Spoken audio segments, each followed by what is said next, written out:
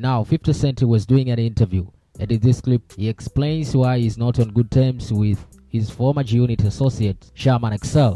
According to 50 Cent, Sha was so jealous and uncomfortable with his success. Check out his entire clip. You're gonna always look to the guy who's still in a comfortable position. Mm-hmm. So you look and you say, well, he's still in a comfortable position, this and that. So it's his. He's the person that I have the issue with. This is where, like, with Sha Money. What's Sha Money's issue with me? I don't know. Me either. I think it's he's not as comfortable as he used to be, and I'm still financially comfortable in every way possible. So I become the culprit in that situation. Even though you broke up amicably at the time? Yeah. Like I, I think afterwards, when you go, when it, it looks like okay, we're just going separate ways until you don't continue to have the success. That, And then if it's easy to be like, uh, I'm not- that, that is natural that that can happen.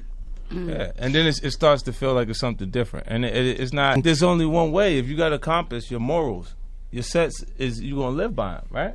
So if there's if a person does something and, and they show you that they don't, this is the way they are. Like I, I don't think children are equal to their parents at any point. I think outside of whatever you offered them for support, you've offered them life itself. They never become your equal.